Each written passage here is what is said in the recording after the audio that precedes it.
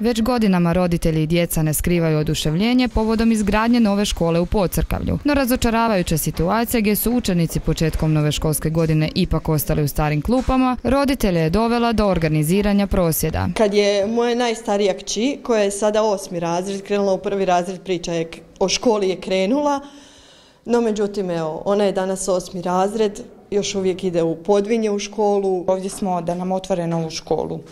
E, kad sam ja bila trudna s mojom Leom, ova škola je, nova škola je krenita praviti. I moje dijete sad ide u drugi razred, škola još nije završena. Prosvjedujemo zato što, zbog, što nam djeca ide u staru školu i očekivali smo da će nova škola biti otvorena, da će nam djeca krenuti u novu školu. Ovo nije normalno, ovo je ne znam, ovakve uvjete nema, nema više niko u 21. stoljeću. Uvjeti za provođenje nastave u prostorima stare škole ističu su neprihvatljivi. Dijete mi je najmlađe u prvom razredu, evo upravo u ovoj učionici u kojoj smo sada, koje evo vidite i sami. Nema prostora za tjelesni odgoj, nemaju nemaju svježeg zraka i sami osjetite da je ovdje zagušljivo i da im je tjesno i njih 14, znate, zamislite kako je i toj učiteljici raditi s njima ovdje, a kamoli šta drugo. Uvjeti jako neprimjereni i nisu u skladu sa svim onim pravilnicima koji reguliraju život i boravak djece u školi. Sve učionice su dosta loše, sanitarni čvor, da ne pričam da e, užinu jedu na hodniku, stoje, ne sjede dok jedu i to su ono, mislim, uvjeti neki koji za današnje vrijeme nisu kakvi bi trebali biti.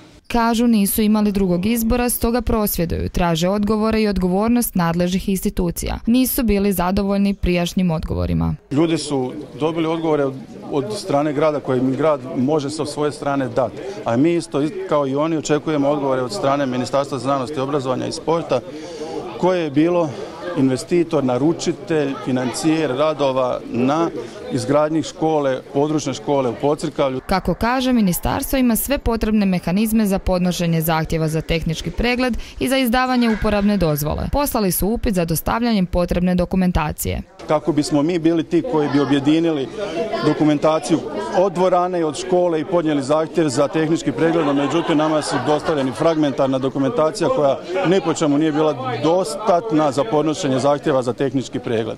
No, od prvog izvođača nismo dobili baš ništa, od drugog dijelove, znači i jednostavno nismo bili u mogućnosti preuzeti na sebe nešto za što nemamo potrebnu dokumentaciju. Budući da je riječ o objektima koje će grad preuzeti i njima upravljati kada jednom budu završeni, općina smatra da bez obzira na njihov angažman ne mogu puno utjecati. U ovoj priči oko nove škole smo e, zaista angažirani koliko god imamo prostora. Nažalost ne dobivamo puno prostora jer nas očito ne doživljavaju.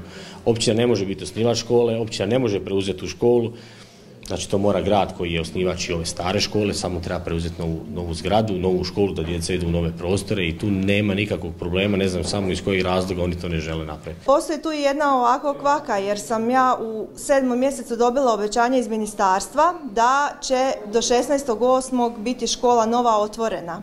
I samim tim u ovu staru školu nije bilo racionalno ulagati. Mislim da e, svi, e, svi nadležni, svi već su trebali napraviti bilo šta da se ta škola završi i, i da djeca konačno krenu u jednu normalnu školu. Šteta je da jedna općina ima dva prva razreda i umjesto da smo dočekali tu djecu na najbolji mogući način i pružili im maksimalne uvjete za njihov rast i razvoj, evo mi smo ih ovdje strpali u ovu skučenu prostoriju gdje se prozori ne otvaraju, gdje ploča visi na šarafima i to je stvarno žalosno. Zašto ne žele sjesti sa ministarstvom i onda ako je nekakav problem, pa onda recite svima i roditeljima i medijima da znamo svi zajedno na, na koju ćemo adresu kucati.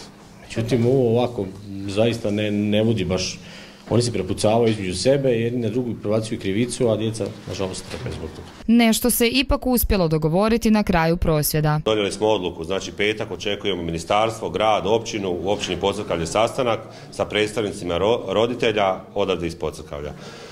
Škola cijela još nije formirala, znači početak školske godine, razredna, znači predstavnike svih roditelja, znači idemo na opću pobunu, idemo u ministarstvo po odgovore, ako ne dođu nam u petak. Ako trebamo tražiti odgovore u ministarstvu, pa ići ćemo i općina i roditelji, sve zainteresirane strane. Sad ovdje ima ovaj, jako puno i pametnih školovanih roditelja koji bi dali sve i napravili sve za svoju djecu i mislim da je vrijeme da kažemo dosta i da ta na- naša djeca krenu znači, u novu školu, u školu što i zaslužuju.